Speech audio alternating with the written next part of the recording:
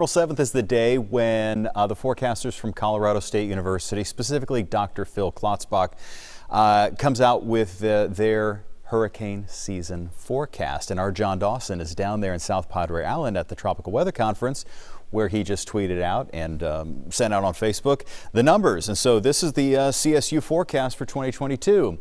19 named storms, nine hurricanes, four major hurricanes. Now this is based on um, you know, compared to normal. So what they do is they take the conditions in a normal season, which would be 14 named storms, nine hurricanes with three major hurricanes, and then they'll move it one way or the other based on things like water temperature and the condition of the El Nino or La Nina. So they're expecting a busier than normal season based on a couple of main things. This is a look at water temperature, what we call anomalies, and it definitely is far above normal on our surface water temperatures across the Caribbean and the Gulf of Mexico slightly above normal in the Atlantic. And then down here in the Pacific Ocean, this blue area here is what we call a La Nina.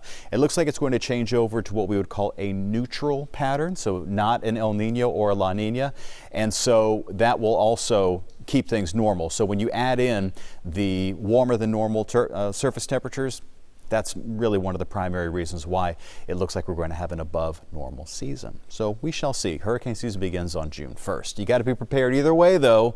We've had seasons where we've only had three or four storms total, and we still get you know whacked by one. So we got to be careful out there always.